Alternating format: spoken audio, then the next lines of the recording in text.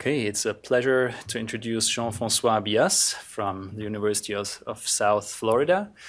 And he has made the trip over here from Seattle um, this afternoon where he is attending the QIP conference. And he is uh, so friendly to give a talk to us as well about his work, uh, which we are really interested in because it, it relates to uh, the work on post-quantum cryptography that we're doing in that it uh, looks at algorithms to solve certain problems that we think or hope are uh, difficult. So without further ado, uh, welcome. And well, thanks. Thanks for the introduction. I don't know if I need the microphone. I mean, it's on, but yeah, well, it's yeah. So I'm just gonna put it aside. Yeah. So um, so yeah, I want I want to present a few um, some of my recent work on on quantum algorithms and why and why and and and especially those that you know have some kind of you know that pertain to cryptography.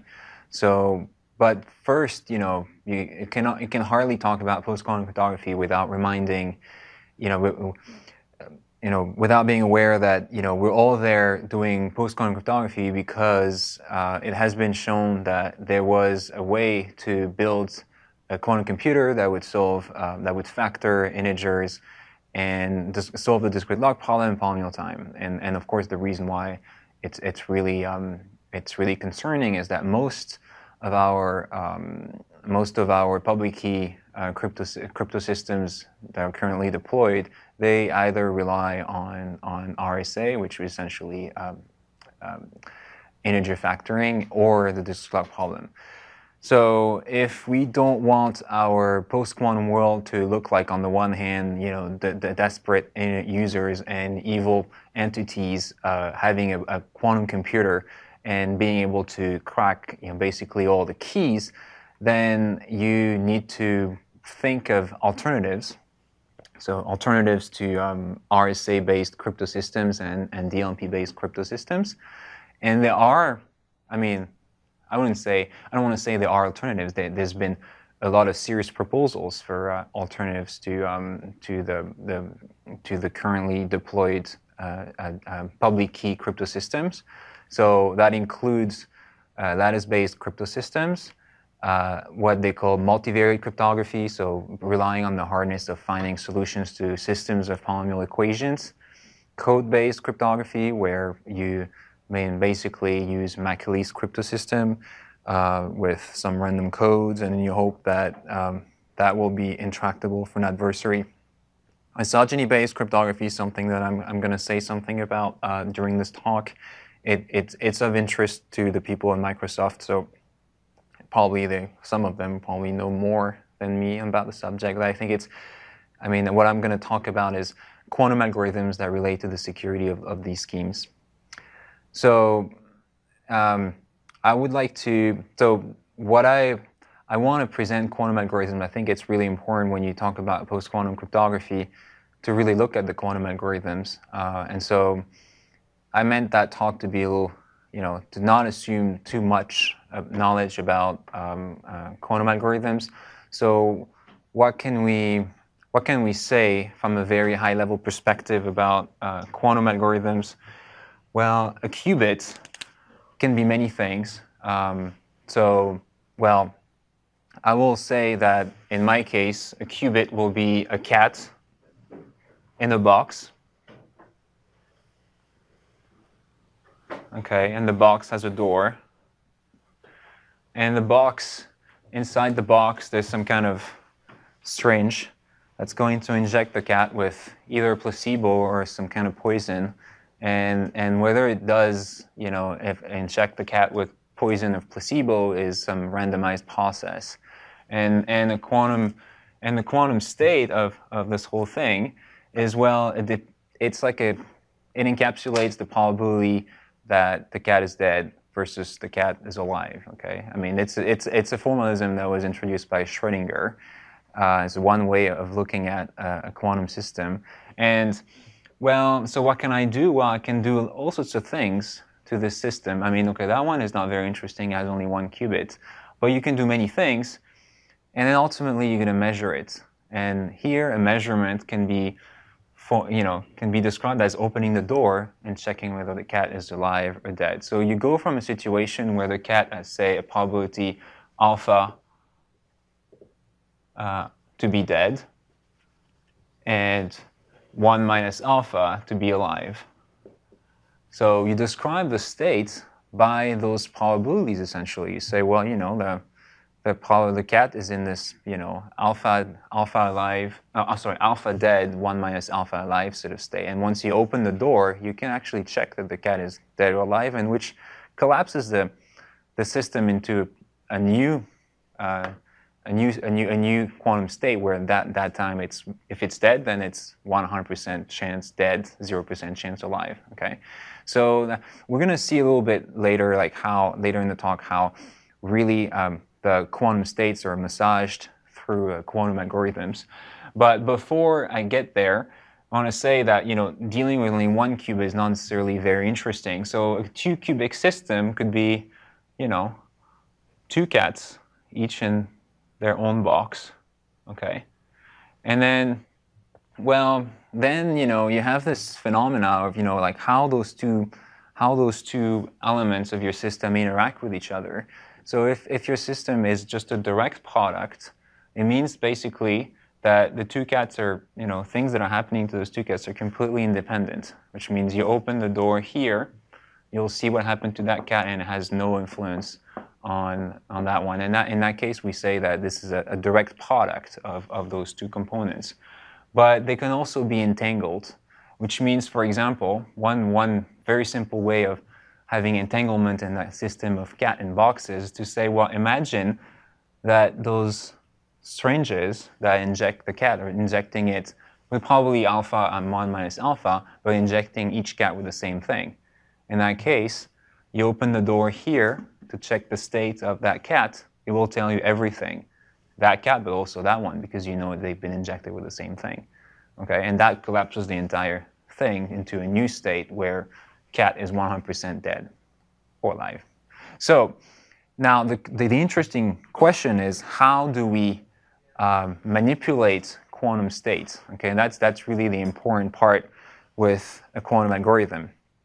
But before I get there, um, so before I get there, I want to I wanna present the general sort of formalism for the uh, algorithms that are of interest for us.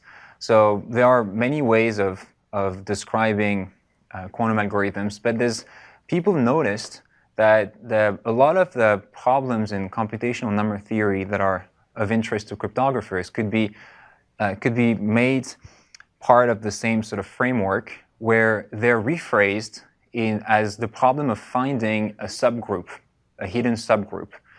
And the way um, the way you would formulate it very precisely is assuming you have a function from r to the m to a bunch of quantum states, okay? Remember, quantum states could be my cats, but you know, it could be also all sorts of physical systems.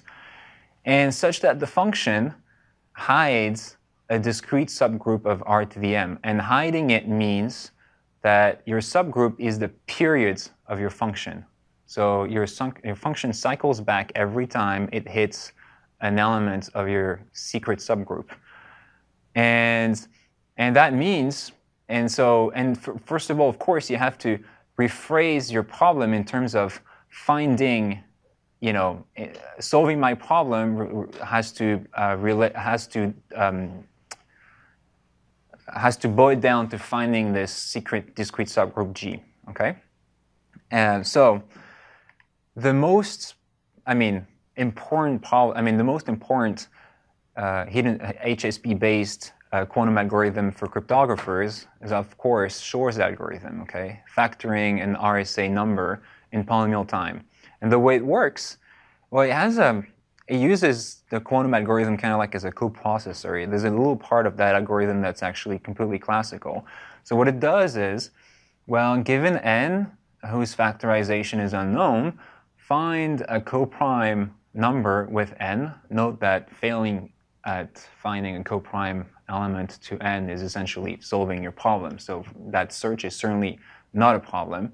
And then you would like to have an R such that a to the r. So you want to, yeah, sorry, yeah, let r be the order of a mod n, okay? And then if r happens to be even, you have this, okay? Which means, uh, which means basically that knowing r will give you an equation of the form um, x minus 1, uh, x plus 1 equals 0 mod n, or the product of two things being divisible by n, okay? And with good, power, and with, with good enough probability, this will give you a non-trivial uh, factor of n. Not all the time, okay, but, but you know, it, it, you repeat the experiment if it does not. And here is the function that will hide your subgroup. So first of all, what is the subgroup you're looking for? Well, you're looking at the subgroup of Z defined by RZ. Okay, R is the order of A mod N. Knowing R essentially allows you to write down an equation of this form, and most of the time, I mean, not most of the time, with a constant probability, it will get you a non-trivial constant factor. So you want to find R given A. And so that is the same as finding RZ given A. And then your function could be expressed in the, uh, this way. You start from Z and you uh, associate a, a to the x mod n, and then you encode that in some way quantumly. Okay? And then every time you hit an element that's a multiple of the order of your um, of a, then it will reset, right? Because a to the r is congruent to 1 mod n. That's definition of r being the order of a mod n. So what it means is that you have exactly the right property to your function, you know, that your function hides the subgroup rz of z. Solving the HSP formulated with this function here will essentially give you a non-trivial factor of, of your number. So, so that's how, that's not how, that's not how it was originally described, but it's clearly uh, how it can be made into this, uh, you know, fit into this general framework of, of hidden subgroup problem. So, um, now, what does a computer, quantum computer do? Well, so here's the thing. Uh, quantum states they're described by vectors in c to the 2 to the into, c to the 2 to the n, okay, where n is the number of qubits. Um, so, and it gives you basically uh, each coordinate is essentially the probability of being in a certain state. Okay, so 2 to the n, there are 2 to the n different states. For example, here with one cat, n equals 2, okay? Uh, sorry, um, n equals 1, and there are two possible states. Then you have two cats, n equals 2, and then there are four possible states. So you would, you would describe this uh, quantum system as a vector of two um, sorry, vector of four coordinates, and each coordinate will describe the probability of being a certain state. So of course, as such, the sum of those probably have to be one. Now, what's funny and what allows um, really interesting things to happen is that the the coefficients are in C and not in, uh, in, in R. So the probabilities are complex. So what you're saying, uh, they all sum to 1 because the probability of measuring a certain, a certain um, value is this, okay? So absolute value of, of the coordinate i uh, square. So that's the probability of getting i in, in this vector when you measure, when you measure the, the, the quantum system. Now, when you, when you have a, a quantum algorithm, what it does is it, it's the same. I mean, for each quantum algorithm, basically, you, you, could, you could have a unitary matrix in C to the 2 to the n times 2 to the n. And then it takes the input state, here I call it phi, you multiply it. So remember, quantum states, they're just vectors. So you can multiply, it's just a matrix vector multiplication, gives you a new vector, which describes the new probabilities of being in you know, um, all the, the possible outcomes of a measurement. And as long as, so, and this is of course an infinity of, of potential unitaries. And then basically that's how you can modelize your um, uh, quantum algorithms, quantum algorithm. And so that's what a quantum circuit looks like because usually instead of having a unitary uh, in one go. You know, if, if you want to implement a quantum algorithm, what you want to have is a circuit, just like um, just like the classical computers.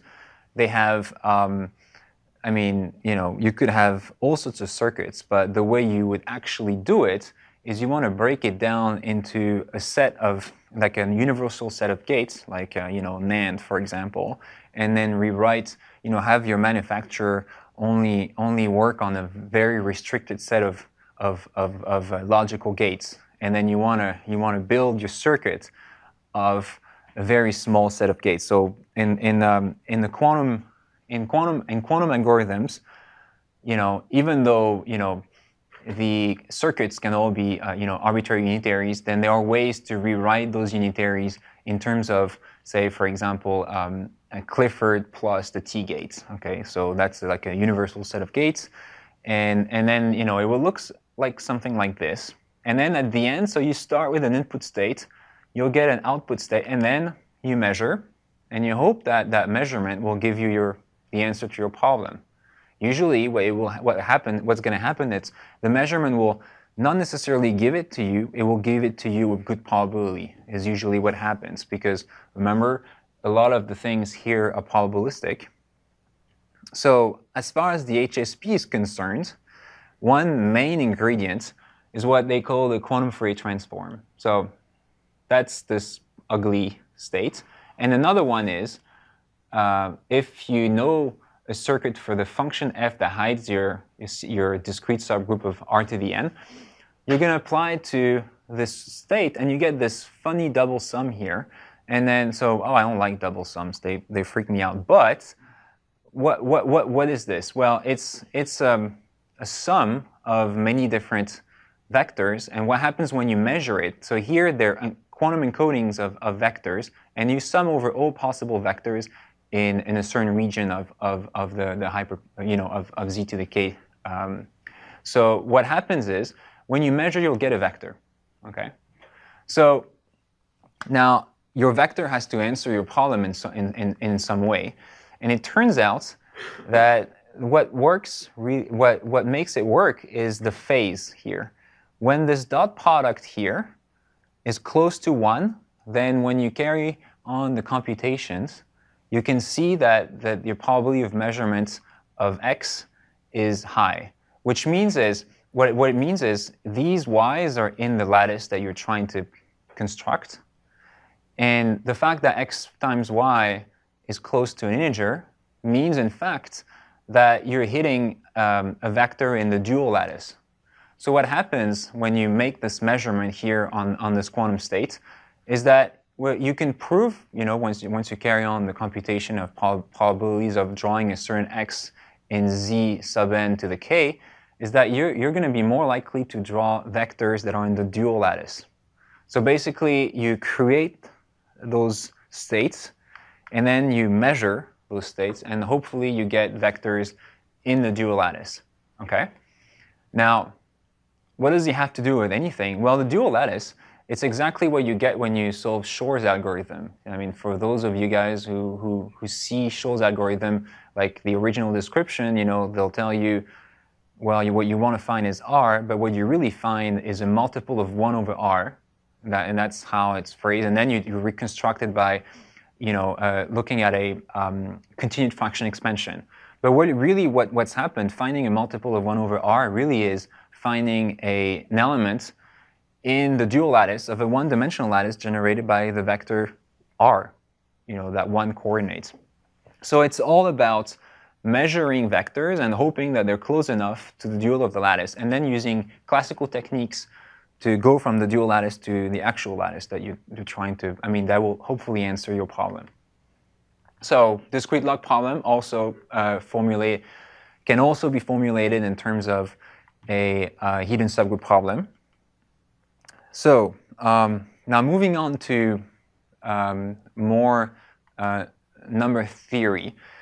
The, so that K, a number field, O, the maximum order class group, just the fractional ideals quotient by the principal ideals. So it's not really important actually. I left it there. But what's really interesting here is that problem, the, what's called the principal ideal problem.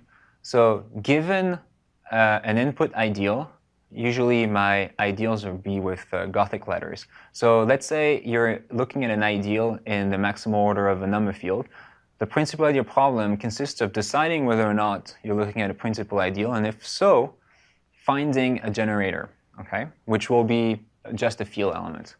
Now, what does it have to do with anything, you know, regarding uh, cryptography?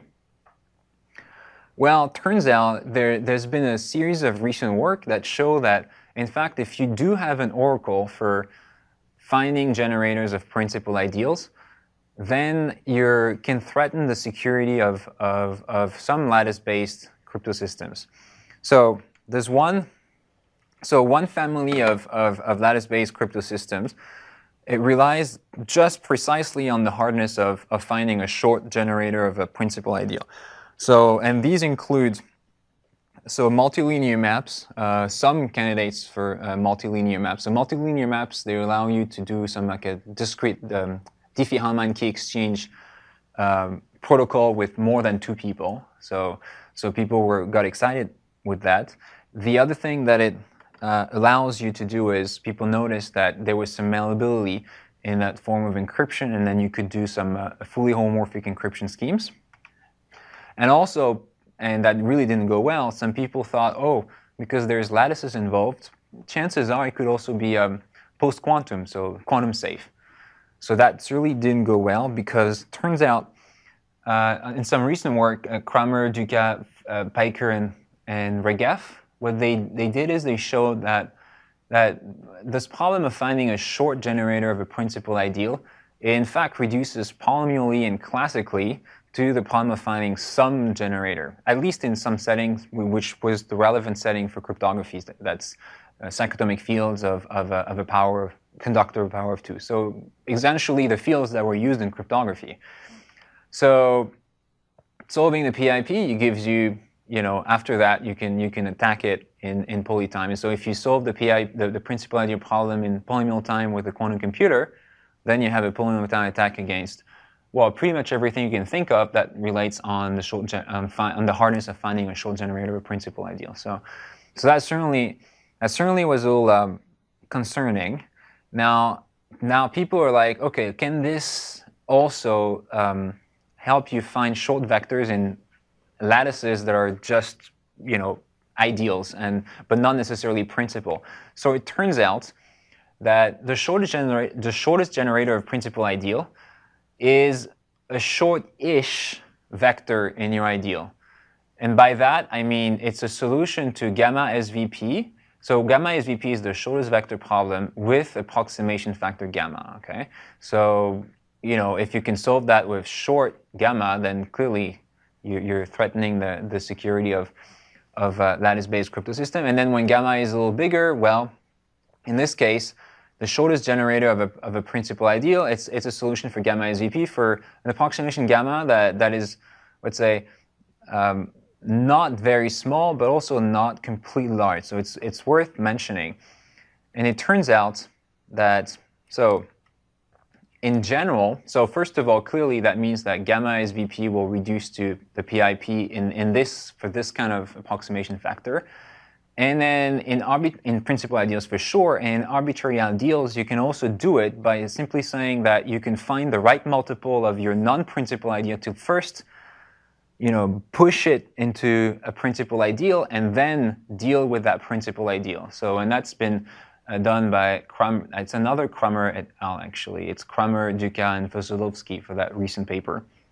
Um, so what's interesting about it is that that means that if you assume a quantum uh, polynomial time algorithm to, to find generators of principal ideals, what it means is you have a solution for gamma SVP for that approximation factor gamma in polynomial time, why classically uh, BKZ will, will give you a, a sub-exponential time complexity. It's like an exponential square root n type of runtime. So you have one of those highly sought after super polynomial improvements over the classical state of the art. And people really like that when you come up with an algorithm uh, that works in polytime for quantum computers for a problem that no one can seem to find a solution with, you know, efficient solution uh, with with uh, actual uh, with regular computers. And even more interesting is that this is a lattice problem. So of course, people are very excited about whether or not lattices, you know, lattice problems can be solved efficiently with quantum computers. So that, that's an example. But of course, these lattices are highly structured. So there are many, many buts. And, you know, one of them is that those um, lattices are highly structured. This, generali this generalization is in fact heuristic. Uh, so there's a lot of caveats, but but still, like people were that that people found that relevant to uh, lattice-based cryptography. Now, um, here's how we do the um, we find our uh, solutions to principal ideal problems. So finding generators of a principal ideal, we make a little detour instead of tackling the problem of directly. We go through uh, like a more general thing, which the more general problem, which consists of finding the group of S units for a certain um, S of uh, a set of prime ideals. So an S unit, given a set of prime ideals, it consists of finding the group of X and K such that the decomposition of the principal ideal generated by X is a product of only primes in the set of S, is in a set of prime S. So that's the S unit group, okay? Um, and so the way uh, so the way we did it is by so by reducing that to the hidden subgroup problem, for which we know that we can find uh, efficient uh, quantum solutions. So being an S unit means that there is some kind of product of the PIs in S such that that ideal multiplied by those PIs is the trivial ideal. And that's how we're going to define a function that hides this group of S units by saying, well, take elements in this horrible set. Um, yeah, and I'm not going to be basically that that that is uh, made of of what you need to be, embed the number field into R to the n, and you associate elements in this complicated set to lattices and lattices to quantum states, and it turns out that when you do it that way, okay, every time you hit a pair that corresponds to the complex embeddings of your S units and the valuations of that S unit at the primes, then this thing is going to be trivial. And that's how that function basically hides your S unit group. So I'm not going to spend too much time on that. Like there was a little too many equations, but bottom line is you can hide the S units, okay, with a function that satisfies the good properties to be called a, a hidden subgroup problem that can be solved in polytime. Now, once you do that, you may want to know how do I reduce, say, my problem of finding a generator in a principal ideal to uh, the computation of a certain S unit group. So the way you do it is you take your input ideal and you factor it um, as a product of prime ideals. And then the set of primes that you're going to use when you compute your unit group is precisely the primes that divide your input ideal. And then, well, your input ideal is principal if and only if it is, sorry, if and only if it is, uh, it corresponds to the decomposition of an S unit, okay? So to find an S unit, uh, sorry, to find, so you first find the S unit group, and you know that you know, if your principal, if the sorry, if the ideal you you gave your algorithm as input is principal, then it means that it will be a principal ideal generated by an S unit for that set S. By definition of the fact that we put in S all the prime divisors of A.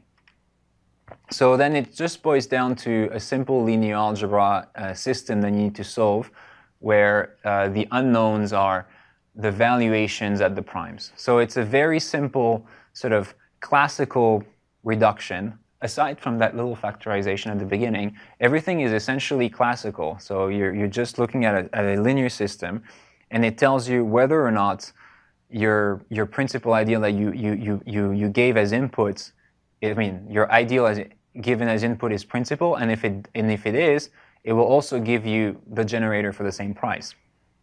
Okay, so that's just to say that principal idea problem, which we said was important for some of the ring-based crypto systems, is in fact just um, uh, just reduces to the S-unit group problem, which itself is a hidden subgroup problem. Now, principal idea problem is not really the only thing you can do with that. And it turns out we had all sorts of, so we had all sorts of, um, I mean, we looked at all sorts of uh, um, um, problems in computational number theory that, that are not necessarily relevant to cryptography. So I'm not going to give a lot of details in, in that, but on that, but you know, computing class groups and unit groups, uh, these are one. Ray class groups, another one. Um, related norm equations, that, that's actually nice because it relates to the resolution, of, I mean, the, the problem of, of solving Diophantine equations, which is a, a big problem in number theory. So you have, we have a, a list of, of interesting uh, problems in computational number theory that can basically solved by using the knowledge of S, S units for a certain well-chosen set S. So it's not just for cryptography that we were looking at, at it. And now, I want to talk about the hidden subgroup problem in a non-abelian setting. So in particular, another uh, type of proposals that I, that I was mentioning at the very beginning of the talk was isogeny-based uh, crypto systems. And as we're going to see, here, I mean, there's a way of reformulating the problem of finding an isogeny between two curves as a hidden shift problem, which itself can be reformulated as a hidden shift, as a, as a hidden subgroup problem, but this time in this weird and a weird semi-direct product. So, I don't know exactly um, how much uh, knowledge on isogeny and isogeny-based uh, crypto system the audience has. Uh, is there anyone working on it besides you?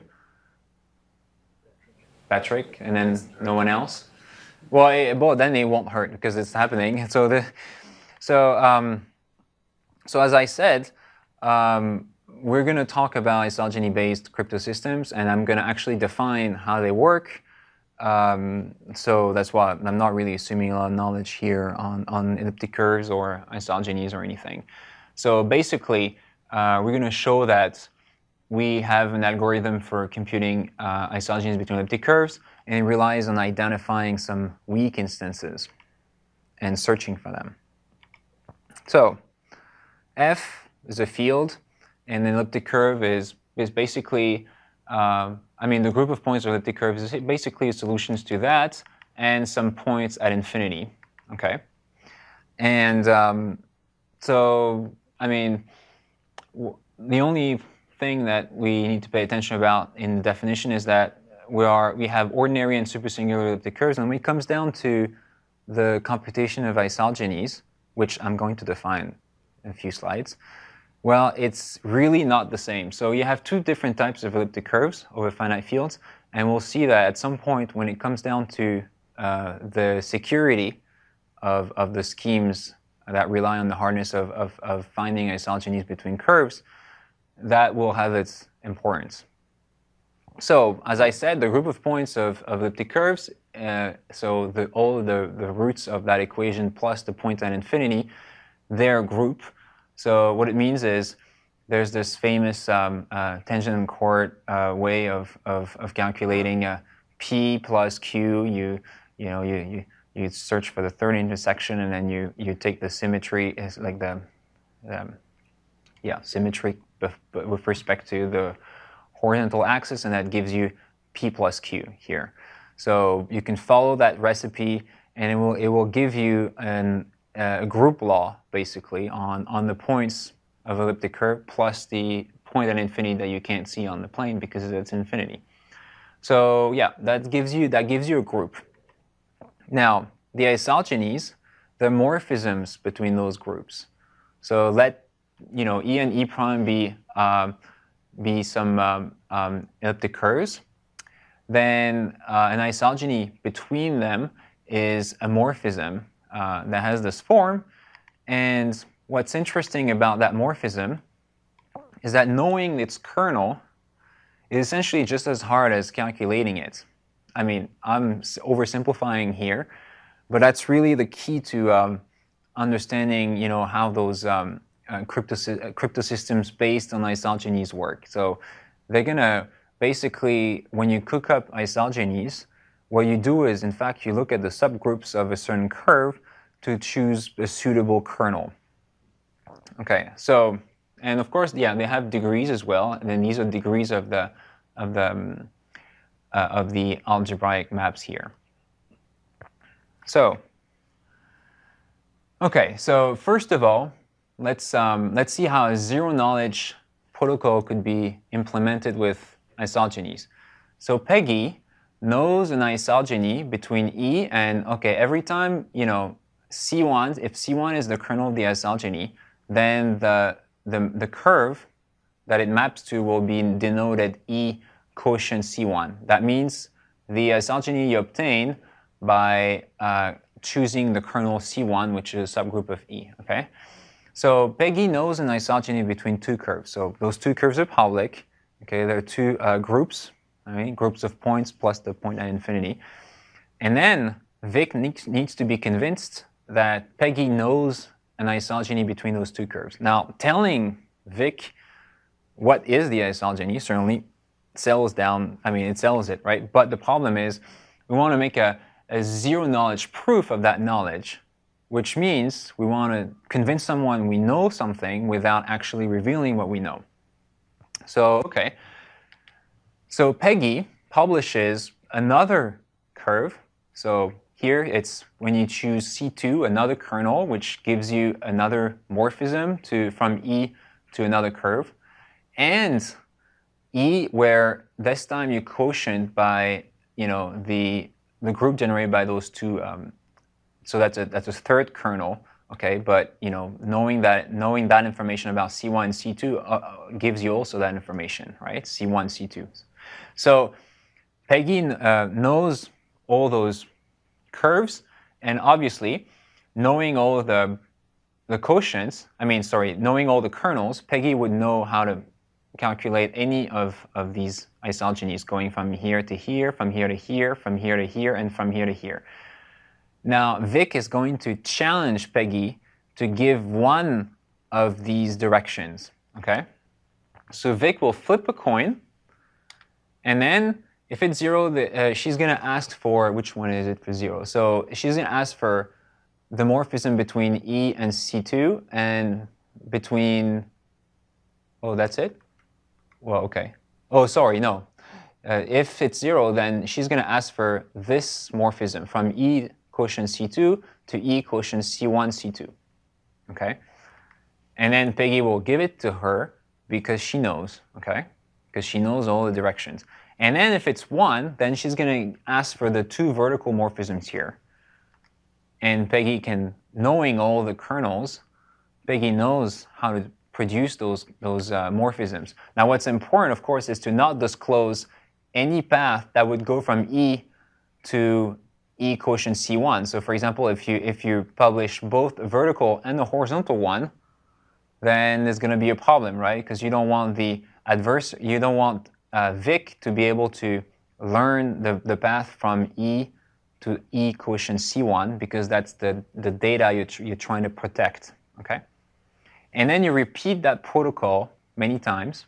And you know, the chances of you being successful not knowing, not knowing that direction, E goes to E quotient C1, well, it's, it's essentially, um, it gets exponentially bad after a few uh, coin tosses. So that's one way of doing a, an isogeny protocol uh, based on isogenies.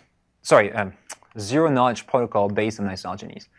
Now, you can also do key exchange based on the general philosophy of, of, um, of uh, the Diffie-Hellman problem. So I, some of you guys are probably familiar with the Diffie-Hellman protocol, you know, Bob and Alice exchanging G to the A and G to the B, and that's, that's familiar to everyone here? Okay. So this is going to be something that looks a lot like Diffie-Hellman, but it's not quite Diffie-Hellman. So they want to create a shared secret. That's always the same setting for key exchange. Okay. And what they do is they start from a curve E, and then they, they have base points that are public, P sub A, Q sub A, P sub B, Q sub B. And then Alice is going to use P sub A and Q sub A to create a kernel. So that's a subgroup that is going to be generated by a certain combination of PA and QA. And then Bob is going to use P sub B and Q sub B to create another subgroup that, you know, generated by some linear combinations of PB and QB. And then they're going to try to exchange enough information for everyone to land on the same curve at the end of the exchange, and that curve will be the secret. So they draw uh, MA, MA, NA, okay, and then they compute a first isogeny, okay, which they keep for themselves, and each isogeny corresponds to a kernel, okay, and well, then they send some of the images. So basically, Alice, with her uh, secret isogeny, first isogeny phi will send the image of the base points for Bob, okay, which are public. And Bob does the same. And then they manage to each create a, and I'm going to have a little uh, picture on the next slide where it's a little more visual. But what happens here is that both Alice and Bob will create a kernel based on that, that will combine that information and will land, in fact, in the same thing. So they both have the same isogeny as the secret key. So what it looks like is like this. So uh, Alice, is that Alice? Yes, that's Alice. So Alice looks at the kernel that's the group generated by this secret point here, okay, and publishes this, okay, and goes to that curve. And Bob does the same, okay, so it means that we have two curves at that point, but none of them is the secret. Then Okay, then Alice can use um, Bob's phi b of PA and uh, sorry, yeah, phi b of PA and phi b of QA to create another a, a, second isogeny that goes in the same direction here. You know, using using if you got you got to make a good choice of PAs and and PBs and QAs and QBs, and I'm not going there. But what happens is when Bob does the exact same thing, they both land on the same curve here. Okay, and that's really how it works. They've exchanged something using their secret information, and no one that can actually um, eavesdrop this conversation will be able to uh, figure out where they both landed. But they've, yeah, but they but they've they've published those curves, E, e sub a and E sub b. Okay, but no one knows where they eventually land. So now here is how you can do a little bit of, um, uh, here's what we're going to do to um, uh, solve that isogeny problem. So finding, yeah, maybe I should go back a little bit. If someone is suddenly capable of finding isogenies between curves, then that gets a little, uh, that, that can compromise this thing. I mean, I don't want to get into the details of how exactly because the, spe the specific scheme depends also on the degrees of the isogenies that you're looking at. So it's not even clear if one isogeny will break everything that's in isogeny to the right degree. But the bottom line is you really don't want people to be good at finding isogenies between two given curves. Okay? In this case, you know, if you publish e to the a, and then maybe it will give you the secret, and then you can play Alice's role in this whole thing and then land on the secrets. So now let's see how you can use a quantum computer to compute isogenies. And let's see if it's, if it's actually hard. So we're going to need that ideal class group that I didn't want to really talk about before. So ordinary curves, and that's when that's where ordinary and and supersingular curves they differ in that sense. Is that the ordinary curves, their endomorphism ring, so the ring of all their endomorphisms, is isomorphic to uh, a certain ring within uh, a quadratic, quadratic number field. Now, we're going to have to define that object because it's going to play a central role in the evaluation of some isogenies between two given curves. So the ideal class group is you look at the fractional ideals of that ring, and you quotient by the principal fractional ideals, which really means that every time you know an ideal is equal to another one times a principal factor, then you just identify those ideal, and that gives you that group, the class group, is in fact a finite group. Okay. of a very large cardinality. Like when, when the discriminant goes to infinity, we're, we're talking about a really large group here. And the way this group relates to the computation of isogenies is because it acts on the isomorphism classes of, of elliptic curves whose endomorphism ring is, is isomorphic to, to the ring here. So, and, and it acts via an isogeny. So it means that when you, the action of, of a certain class of an ideal is made by an isogeny of degree its norm. So there's a, re, there's a correspondence between finding an isogeny, say, between uh, E1 and E2, and finding the right ideal that will, you know, act on E1 and get you E2. Okay? So that's, that's why, and that's also what we're going to use for quantum algorithm. So, um, yeah, so that action, if I give you A, the ideal A, we know how to compute it.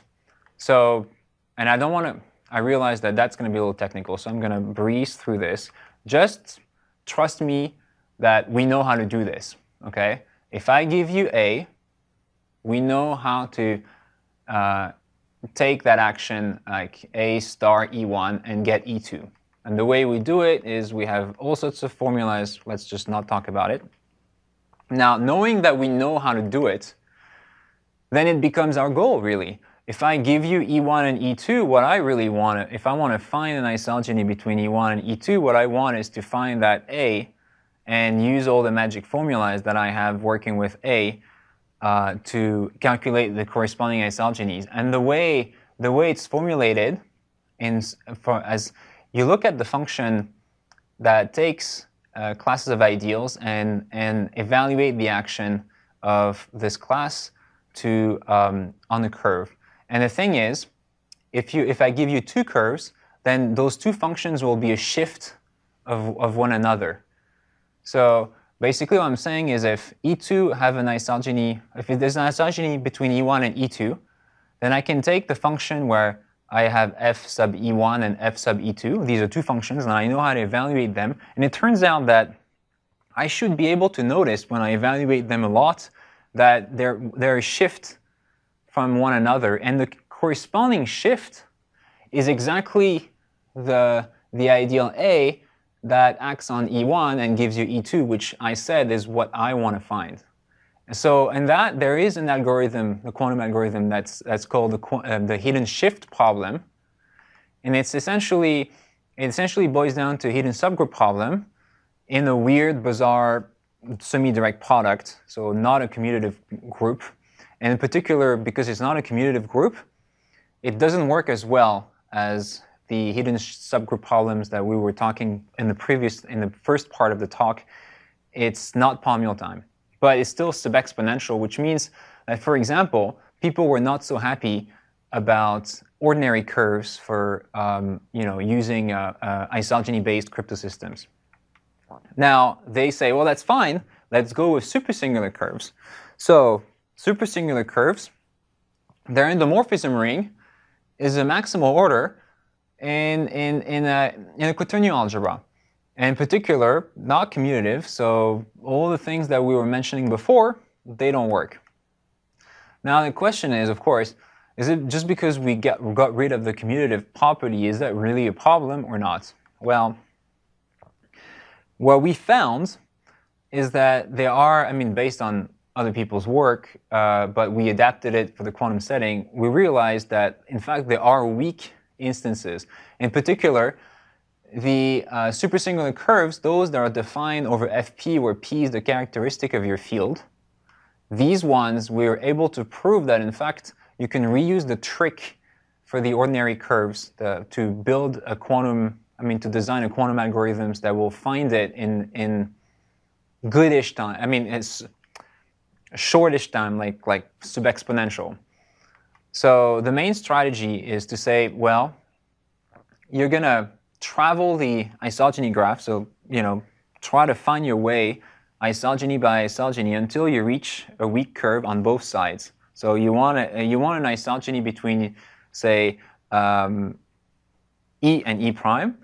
And then first, you travel the graph of isogenies till you reach on both sides the weak curves, and then you find an isogeny between those weak curves. Okay? So turns out the isogeny graph looks like this. You know, you start from E, and then you travel, and then every time, you know, it's highly connected, so you get lost very quickly. Okay? And the thing is, you're going to search for all the paths that passes that pass through a curve defined over fp. And it's a search problem, and one of the magic of quantum algorithms is that they can do search problem in, in time better than linear in, this, in the size of the set through which they search. So it's called Grover's algorithm, and what it does is if you're searching a database of, of length of, of, uh, of size n, it'll find what you're looking for in time square root n, even though the, the database is not um, ordered or anything. Of course, if, you know, if you search through an, an ordered list, it's easy. But if you have no idea of any structure in your, in your database, it sounds a little mind-blowing that you can find something in, in time less than linear in the size of that database. Okay, here our database is a, is a set of, of a lot of different paths that you could take, and you're going to search through, uh, through this for all those paths that, that go through a weak curve. And then once you do that, well, you can move on to the next stage, which is dealing with the weak inst instances. So, what's special about the weak instances? Well, their endomorphism ring, I mean, their ring of endomorphisms defined over FP has just the right structure to use the trick that we were doing before for the ordinary curves. Okay? What it means is basically everything I'm gonna, you know, I'm, I'm gonna wave my hands. And I'm gonna say everything we did for the ordinary curves, you can do it for the weak supersingular curves once you found them in the highly connected graph of isogenies. Okay?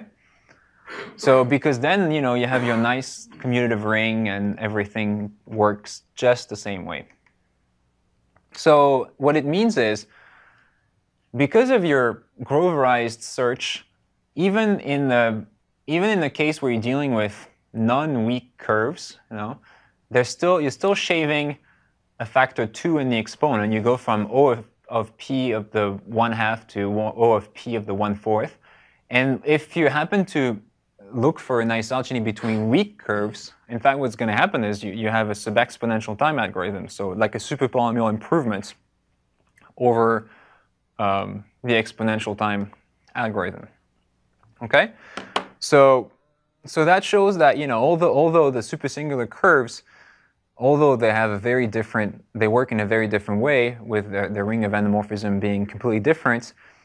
It's not completely guaranteed that there's nothing you can say. Um, so people say, well, you know, they're so different. There's no way anything we do for ordinary curves can can can can apply. When it's not it's not clear. We should scrutinize it more. Now, um, how much time do I have? Because uh, we started a little late. Uh, how what was the, the plan? I have like a few more slides on totally, un, I mean, not unrelated topic, but um, just different. So I could stop here or could talk about what I'm going to say at the QIP rump session, which is I'm going to talk about a, a super polynomial slowdown on Shor, Shor's algorithm. So making Shor's algorithm slower. Yeah, it's meant to be a, a rump session talk. So here's the thing. You know, uh, you know, to so the community is like, okay, well, let's uh, let's um, you know, because of Shor's algorithm, we're forced to look at alternatives to RSA, you know, like uh, lattice-based cryptography, multivariate cryptography, code-based, isogeny-based, you name it. Now, in joint, in joint work with Dan Bernstein and Michele Mosca, we have an alternative strategy to uh, solve this problem of, you know, the, the, concerns of the community with respect to Shor's algorithm, is to just make it slower, okay? So let's see uh, what we really mean by that. So polynomial time, so Shor's algorithm gives you a solution polynomial time. Now the best solution to um, the, the polynomial factoring n with uh, classical computers is um, in uh, sub-exponential time. So sub-exponential is defined by that funny function here.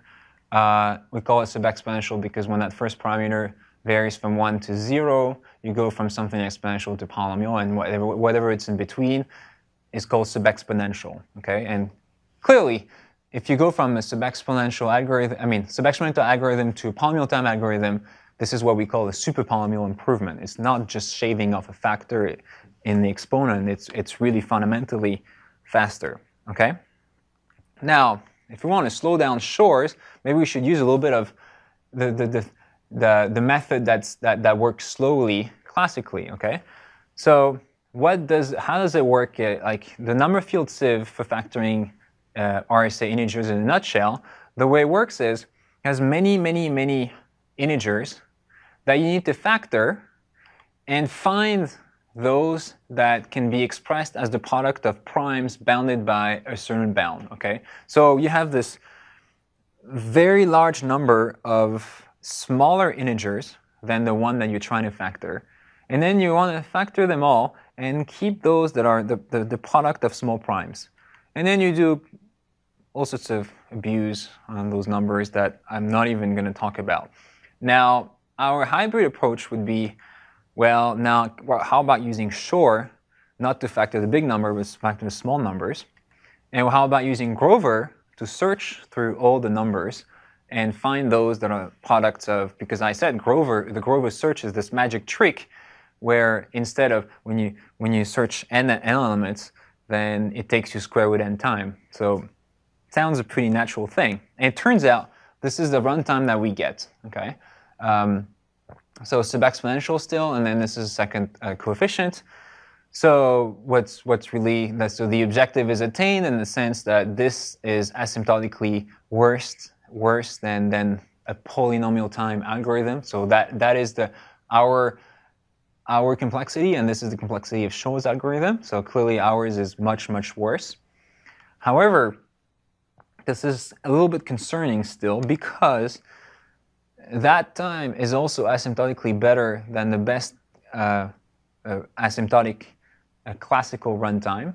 So it outperforms anything else that exists at the time. And also, the number of qubits is, uh, in our method, is, um, oh, uh, yeah, Shor, so Shor's number of qubits is, is O of log n, while ours is O of log n two thirds.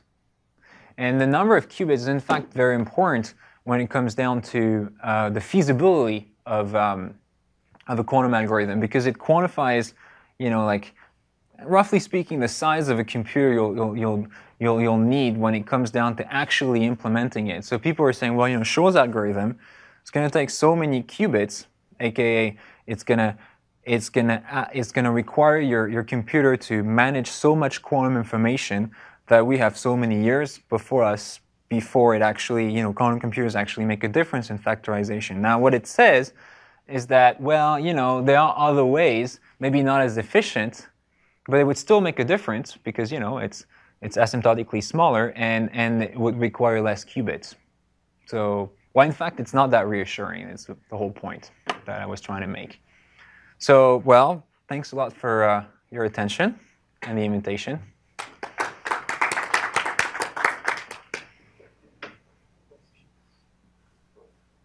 On the very last line that you got there, do you know anything about the constants for the, uh, the orders? Um, the uh, log n to the two-thirds qubits, is that really fewer qubits in practice, or is it just Well, okay, that, that is, uh, there's actually two questions in there.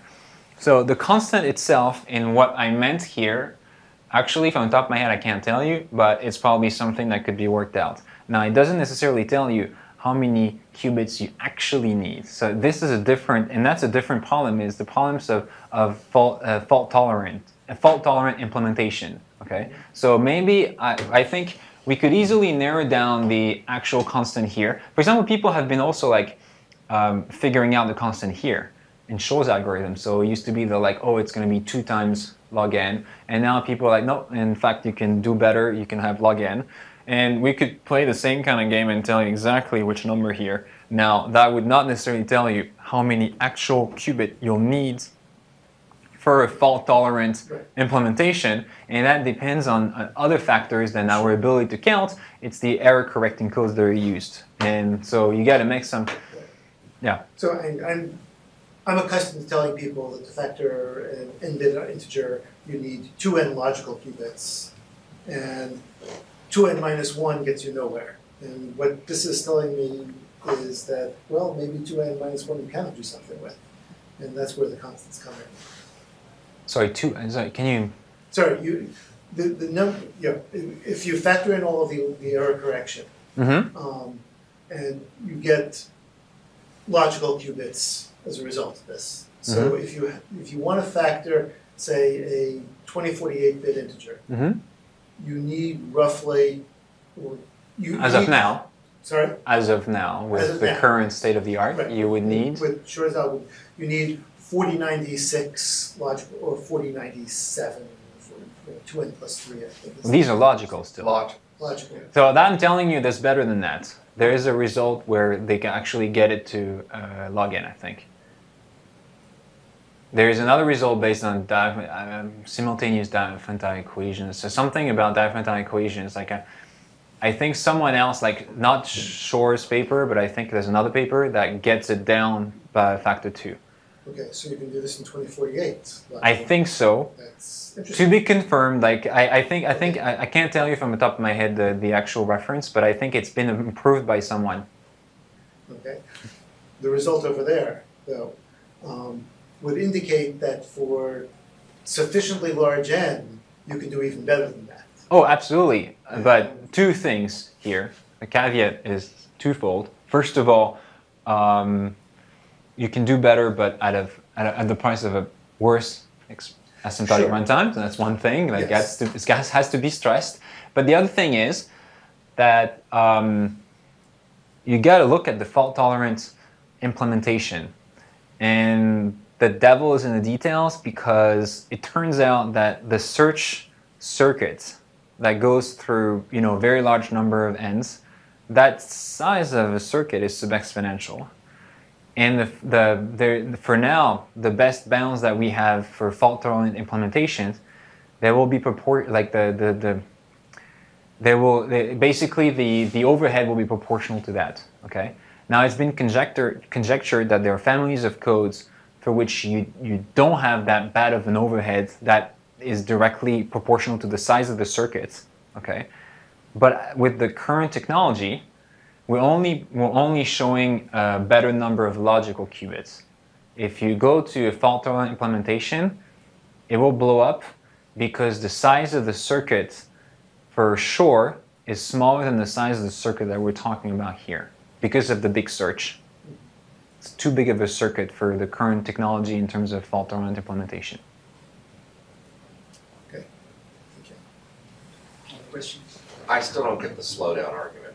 What you basically said, if, if I understood it right, is instead of running Shor's algorithm directly, you can kind of run number field sieve where you use other quantum thinking Mhm. for parts of it, Mhm. and that doesn't run as fast As sure, as Shor, but it's faster as the. but it's NFS. faster than number field sieve done completely classically. Yes. Okay, so that I get, but no one would do it that way if they had access to a quantum computer with sufficient bits. Uh, the, the, with sufficient bits, that's the. Yeah, so then, so then the only way that you're getting a slowdown is you're trying to play off this small delta here in terms of the number of logical qubits you need.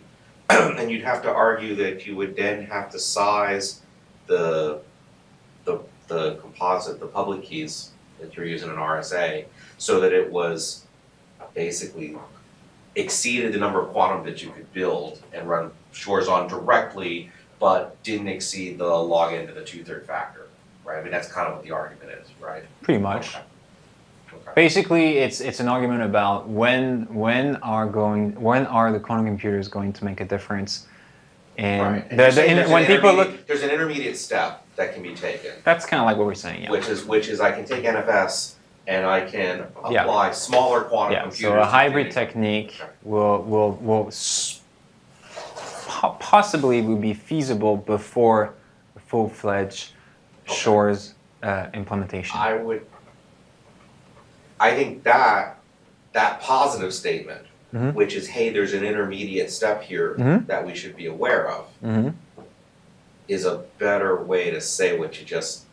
No, but that's a rump session talk. I understand. I understand it's a rump session talk. and You start with a provocative title, and I've been down that path. Yes. I think there. That's that, that's what we wanted. That's how we're selling it for real. Okay, fair enough. Don't worry, I- I'm aware of that. yeah, okay. made it that far in academia, not by saying everything is crap. No, no. But yeah, that, that's right. That's No, right. Yeah, an- I, an I, important that, that's how point. that's how we're Yeah. phrasing it. Yeah. Don't worry. And and well, no, I actually think that that is an important statement because one of the problems No, we- I've we- got- yeah. We're, we're seeing it exactly that way. Yeah. Okay.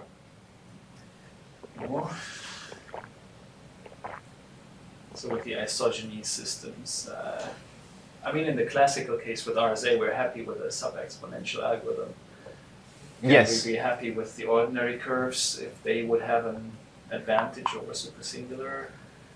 You mean an advantage in I mean- term in terms of uh, performance? Maybe, yeah. So you, if you're, tell, you're telling me I, I reviewed uh, crypto systems based on super singular curves and ordinary curves, I have a mind-blowing implementation with ordinary curves. What do you make of their security? Um, so it's only sub-exponential algorithms that, that, that we have. Now the question is, um, well, it, I think it's it's like it's the thing about cryptography. Like some of the stuff in cryptography is just a little irrational.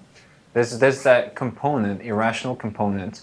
So RSA has been studied for so long, and it was first to the market, and people are people are happy with that L one third algorithm. Uh, while with super singular, no, sorry, with ordinary curve isogeny, we only have a well one and a half. With a quantum computer, which you know, uh, God knows what it would look like for real, a quantum computer running something in L one half. But people don't like. People really want to see, like, for a new system, it looks like people want to see exponential time everywhere. The moment you start to tell them that there is sub-exponential, especially if it hasn't been studied for that long, and suddenly, so it could be that sub-exponential is the best. L one half is the best we'll ever do for ordinary elliptic curves. But since it came like rather soon after it's been described, then people think, oh come on, like you know, like they almost think that there's a curve of you know complexity in time, and you know if, if, if we interpolate that curve, and if you got to L one half, and so you know such a it doesn't mean anything, right? It, it's really a lot of it in, in cryptography is is psychological. So yeah, there's no good answer to your question. Not not good, nothing scientifically uh, good. Okay. Thanks. Thank you.